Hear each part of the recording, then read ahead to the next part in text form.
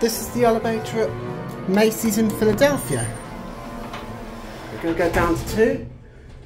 Capacity 3,400 pounds, 14728. Here we are at two, go back up to three.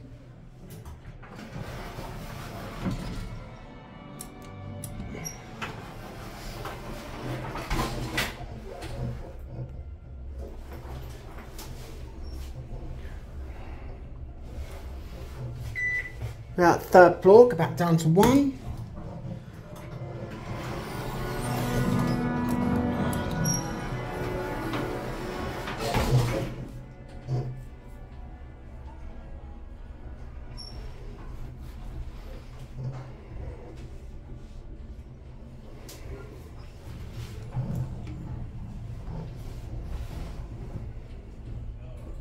Here are back at one.